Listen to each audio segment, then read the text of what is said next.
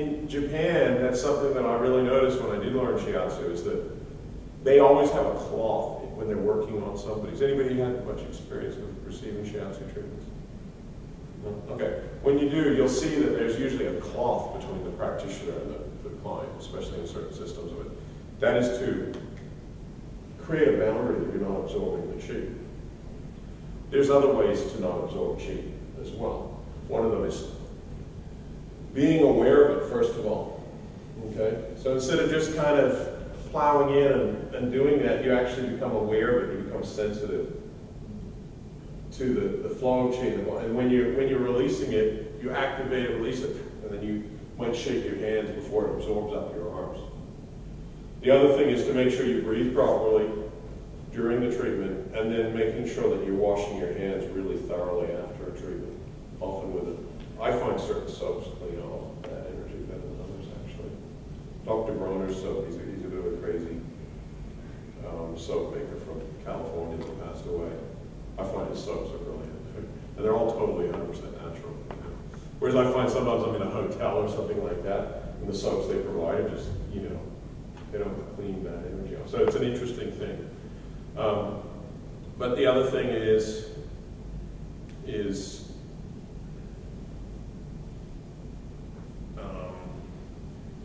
it just really comes down to being aware of it. And you get it before it absorbs and then you know you can then have like a, shower. You live you live near the beach do you? Do you find that like for me i live in hawaii near the beach as well. And i find if i've done an intense treatment i go for a swim afterward yeah, sure. i find it really cleanses me. Well, that, that makes sense. In several senses at home when you finish at some which comes on you you go and have a swim in the sea. But but the thing though is, I think what you're saying really makes sense to me because I think that yeah, I'm not aware of it when I'm doing the massage. Yeah. When I become aware of it, it's at the end and then it's too late. Exactly. So probably you need if I try to maintain that awareness throughout the massage, then it wouldn't affect me. That makes exactly. sense. Exactly. That's what I would say. All right. Any other questions? All right. Excuse me. So what we might do then is um, who'd like to volunteer for, oh, I'll just do some demos. Really what I want to do in this course is do demos, get you guys working on each other so you can all experience. A lot of you guys would have seen a lot of, did anybody see any chi move in their courses? if you didn't, I'm going to sack the teacher. Yeah. That's what we like to do. What's that? Yeah. Yeah. Brett was your teacher? Yeah, oh yeah. Was that the one where, where somebody was speaking in tongues? Oh, yeah. Oh. yeah, yeah, yeah. Yeah. We had a bit of tongue speaking. Yeah, you did. I saw the video. I saw the video, yeah. Yeah. But I was thinking about her when we were talking. She's a sister of someone who's in the class. She's been massaging people for seven or eight years. Did all the courses the weekend before she came in. Someone had a chi release on her table. She didn't know what to do never seen it before. Her brother, who was in the course, had been in the course a week, went out and sorted it all out for her. Through that experience, she wanted to come and have a massage, and she, when we got emailed the, the video link to what happened in this class, I don't know if you saw it, but she was speaking in tongues, and there was so much anger and ugliness coming out of her body. And when I saw it, the first thing was that's six years of other people's energy coming out of her. Because she was a generally happy, normal, balance girl but there was some strange stuff coming out. Um, and that could have been everyone else's. Were you there? Oh, there was a full class. Oh, it was like exorcism and yeah. yeah. we were. A lot of people have compared, especially as you get into the more advanced aspects of this form of massage, like, oh, good, that looks like an exorcism. You know, it's, yeah. Oh, she, I walked out to lunch with her, she skipped all the way down the stairs and outside, she goes, oh my god, who am I? She felt different. you know, and it might not necessarily be her stuff coming up. Might have been holding on to other people's massage. People have some weird stuff inside of them, you know. I mean, you know, especially if you've had a life, you yourself may have had a life that's all been wonderful, and you know, you've never been sexually abused or never been, you know, whatever, had any sort of thing. But there's a lot of people out there who have not had that, you know, they've been been abused or been had this problem or that problem. And so, you know, you're working on some people that, that have had a lot of stuff put into them, and, and most of that's going to be stored in their belly. Can we store it all over the body. Absolutely, yeah.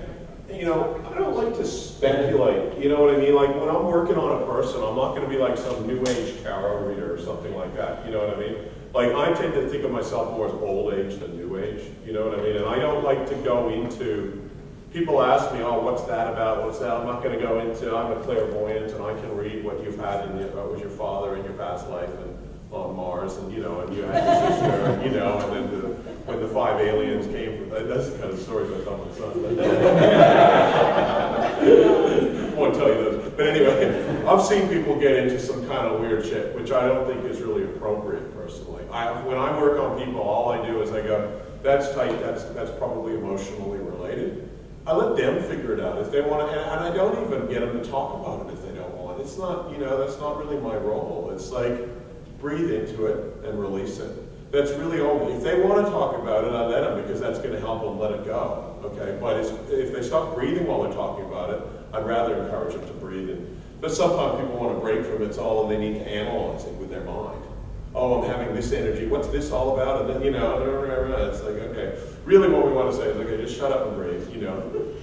but you do it politely, you know. but, you know, but some people want to talk about it, but don't let them get caught up in the mental analysis of their problems and all that, because otherwise you're wasting a lot of your treatment time that you could actually be clearing that out of them, you know? Let them think about it later, it's best. But not everybody's ready for that, and you've got to be work with the person. So of course, if the person does want to talk about it, well, but I would just listen rather than try and tell them anything. You know, I don't like to tell people about themselves unless I really see it but I don't see it on an emotional, I just see that they've got a tightness and it's probably emotionally related and maybe there's some anger, but I'm not going to go into why they're angry or whatever. It's like, okay, yeah, okay, you seem like, you know, you, you obviously got some anger about something. The best thing is, is to breathe into it, let it go, scream if you want, but don't take it out on me, obviously. I didn't cause it, you know. bringing it up and out, you know. Um, but one question I've, I've had quite often, you know, working on, on people is that people will come for because they feel they have a particular problem somewhere, and then you find out that actually they've got another problem. Yeah. And so you're working on that, and they say, "Oh, I never realized I had all this tension here. Why do I have this tension there?" And they go like, "I don't know." Oh, you just say, use a general word like stress. Stress is a good one. Yeah. I'd say it's just stress, emotional things, you know. Keep it really vague. I usually say everyone's different. People hold their attention yeah, yeah, yeah. I, I, find that a lot of people say, oh, why do I have tension in this part? I wasn't aware I had it. Why do I have it there? Yeah, I would just say it's uh, due to stress and, you know, because really it's a sidetrack site. Who cares why? It's about getting rid of it. You know, we're not there to sort of like have make make a little story about the whole thing. You know? I reckon I feel that um, whatever comes to mind when you're massaging them is what the issue is about. Like I think if like I'm thinking, oh my god, my ex-husband comes to mind, well then that's what it is. So I'd say what, what, it's whatever you feel that it is at that time. It's with the yeah the person, yeah. and and don't transfer your stuff into it. You know, because like for me, it could be I could be having my own thoughts or my own stresses in my life or my own whatever's. You know. And so that's why I don't like to comment on, you know, because it could be just me thinking that that's what it is, you know, and they're accepting me as an authority, and I don't want to misguide them and especially, you know, put things into their head that shouldn't be there, you know. My role is not to do that because that can confuse a person. You know, my role is to sit there and encourage them, where it's sore, breathe into it. And if you feel an emotion coming up inside of you, don't repress it, just let it out. Okay? If you need to cry, cry. If you need to scream, if you feel some, ah, you know, let it out. Don't go, I'm not going to let that out. I don't want to, you know, I'm, I'm going together, you know. I'm all right, Jack, you know. it's not about that, okay? It's about just going with, you know, because a lot of, when you have these chi releases and these emotional releases, there's something that comes up like a tidal wave often from deep within you. And that's how the person experiences it. And it, they experience it as a loss of control to a certain extent. Because and I look at that, that's why I look at the head and the mind as like the control thing, and the, and the belly is like your deep-seated emotional stuff. And what, why we have to often come in and do deep head massage before we can do belly massage on some people is to shut their mind up and just let things come out without trying to control it. The head tends to control it, the intellect and the mind, and especially in Western culture. Probably see the difference between Westerners and Polynesians, where you live. Well, actually, it's Melanesia, but also Polynesia. Oh, yeah, yeah, yeah. I know in Hawaii, because Hawaiians are quite different, so they're not so mentally active as white people tend to be. And it's, it's, it's interesting looking at the differences. But what, what a lot of people tend to do is, is, is they're scared of that because, why are they scared of those emotions? One, the emotions are scary, but two, the major thing is that they feel out of control.